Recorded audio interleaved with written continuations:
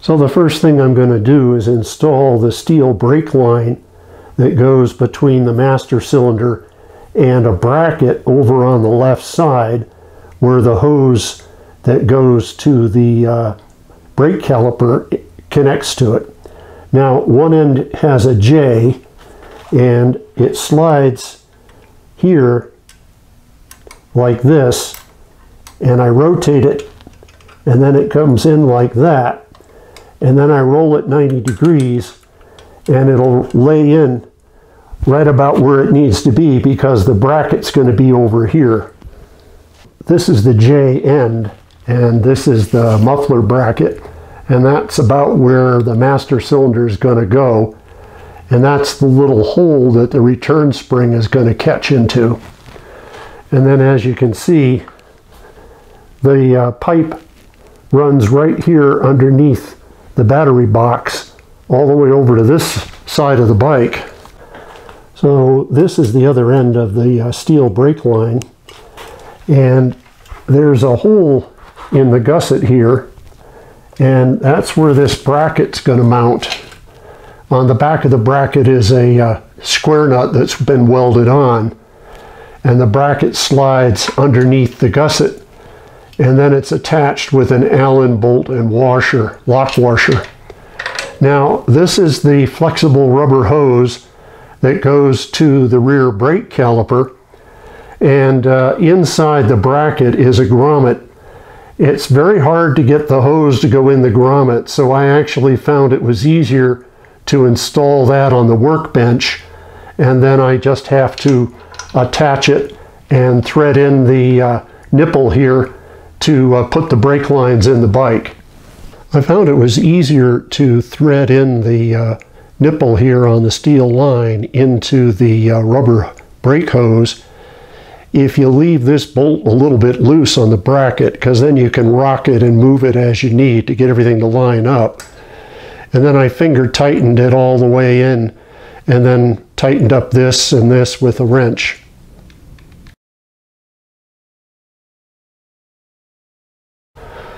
So this is the rear brake master cylinder and the bracket that it mounts on. And there's two tapped threaded holes in the bracket. And so the master cylinder goes right on like that. And uh, it uses these long Allens with the two wave washers. Now the bracket front mounts to the swing arm and there's a bracket underneath the swing arm for it to go in and there's some adjustability but there's a wave washer and a flat washer that go on this side and then on the back side is a large flat washer and then the bolt screws into a, a tapped uh, hole on the bracket on the swing arm. Now the rear of the bracket is designed to mount on top of where the mufflers go so the bolts that hold the muffler bracket on also hold the rear of the master cylinder bracket on. Now to work the master cylinder this lever arm is moved by the rear brake pedal and that mounts using a linkage which has a clevis on each end and a little special pin that's used to attach the clevis. So the way that works is the clevis will slide over the arm and then the pin comes in from the back like this and then this little um, clip rotates and snaps over the shoulder of the clevis to secure it, just like that. So that's how it works on both uh, the brake pedal and the master cylinder. Now there's a spring, which is the return spring for the brake pedal, and that has a hook end. It'll fit into a hole drilled in the back of the muffler bracket, and I'll be able to show that in a little more detail a little later. Now one other thing that attaches is the brake fluid reservoir and it has a bracket so it'll attach on the top right battery box uh, vibration isolator stud. And the hose is attached with a use once crimp hose clamp. And the same is going to be done at the bottom This is that hose clamp. It slides over the hose and then you attach it like that and then you use a special tool that crimps it. So this is the tool that I use to crimp the use once hose cl uh, clamp and it fits in like that and then you squeeze it and that contracts the clamp and tightens it around the hose.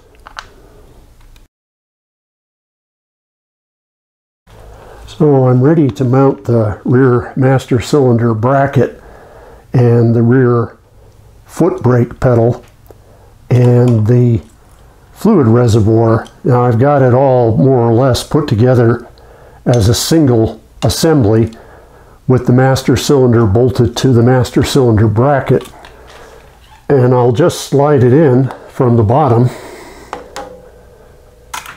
And uh,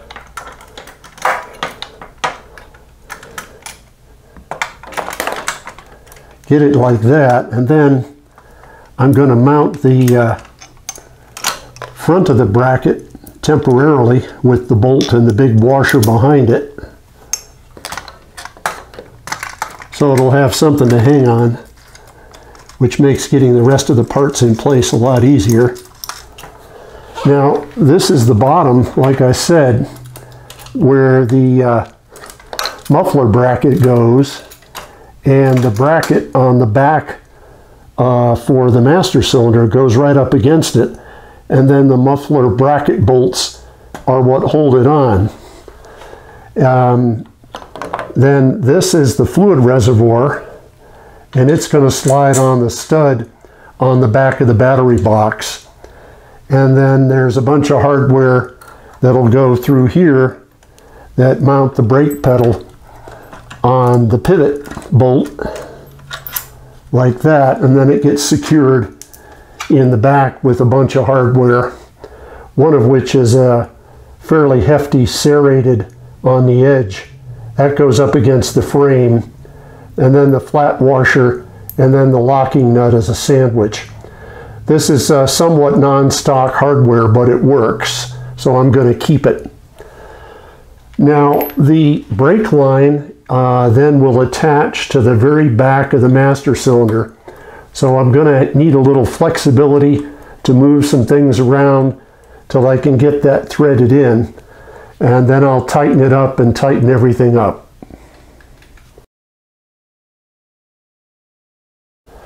So I put uh, brake fluid in the uh, container for the rear master cylinder and uh, I have everything installed brake pedals on. Um, of course, the back locking nut is a little loose, so the brake pedal will move freely. And I routed the uh, spring. It just fits in between the fluid hose and the uh, bolt has a nut here. The spring just passes by the face of the nut, so it's not going to rub on anything. Now, the other thing I've done is I've suspended the rear brake caliper on the shock. So there's a slight uphill run for the brake hose. And then this is the bleed line, which goes to my air zapper. This is a little vacuum pump, so it pulls the fluid out of the bleed nipple. And I've had good luck with that uh, clearing air out of brake systems. The other thing I've done to prevent uh, getting into trouble is I've put some wood shims in between the two brake pads. So if I want to pump on the rear brake pedal, those pads aren't going to close up all the way. So I think I'm ready to take a shot at bleeding the rear brake system. Close the uh, brake bleed nipple on the caliper and I'm going to pump the uh, brake pedal and you can see I'm getting air bubbles coming up out of the uh, master cylinder. So I'll keep doing that, try to get as much air out of there as I can. Okay, now as I pump the rear brake pedal, I don't see any more bubbles coming up out of the rear master cylinder. So I think I've got that full of fluid and the air has been moved out of there. So now I'm going to come over to the air zapper. Um, the bleed valve is finger tight closed. And I'm just going to turn it on. And then I'm going to open up the bleed valve. And I've got uh, fluid and a little bit of air coming through. So I'm going to let that run for a bit and keep my eye on the fluid reservoir on the other side so that it doesn't come out empty because I don't want to draw air back into the system.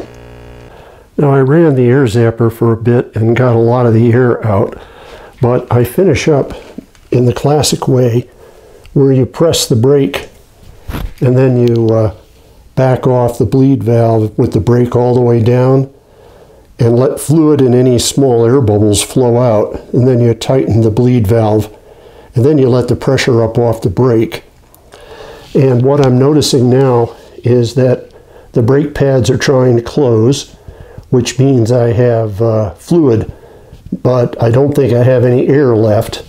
So what I'm going to do now is mount the uh, brake caliper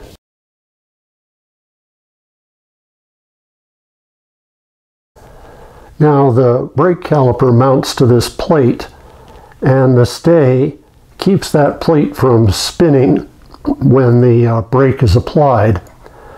It attaches on the bottom of the plate with a large bolt and on the back side is a locking nut and a serrated washer and the serrations uh, face against the plate to help keep things from moving. Now the other end of the stay mounts up here in a bracket on the bottom of the swing arm and there's two legs of the bracket.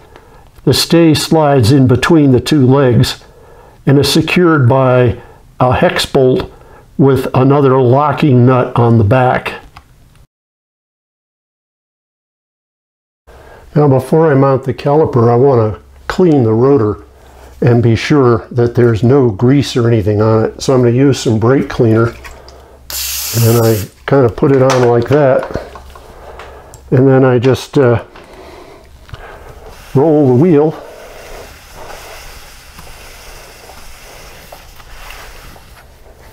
And you can see there's a certain amount of uh, garbage that I'm getting.